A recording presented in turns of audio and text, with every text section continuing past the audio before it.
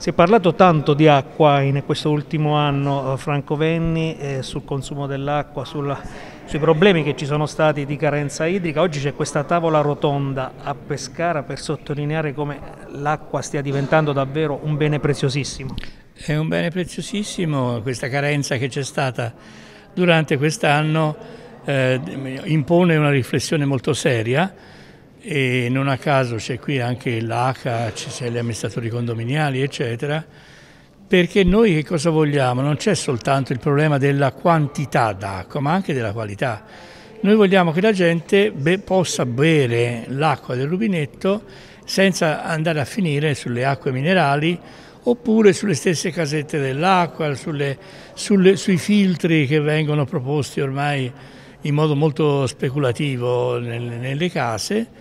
perché è un diritto dei cittadini avere l'acqua pulita, trasparente, in odore, in sapore, in colore e lo deve dare l'amministrazione pubblica questa cosa, fermo restando che ci sono le bollette da pagare. Il, il punto chiave è che dal, dal 2005 al 2019, dove abbiamo fatto tantissime eh, indagini, il, il consumo dell'acqua del rubinetto è passato dal 47% di persone che non bevevano l'acqua, adesso siamo a oltre il 70%. Quindi c'è stato un peggioramento notevolissimo e il perché eh, spesso è dovuto ai condomini, per cui noi chiediamo e abbiamo chiesto e stiamo facendo l'analisi dell'acqua nelle amministrazioni condominiali perché lì c'è un grosso problema di verifica delle autoclavi e delle pulizie dei serbatoi. Allora se in, tutti insieme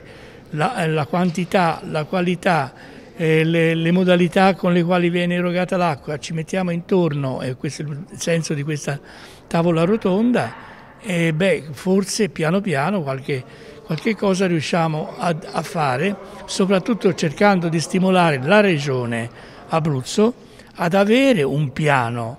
eh, regionale per l'acqua, cosa che attualmente non ha e quindi dobbiamo su questo insistere fortemente.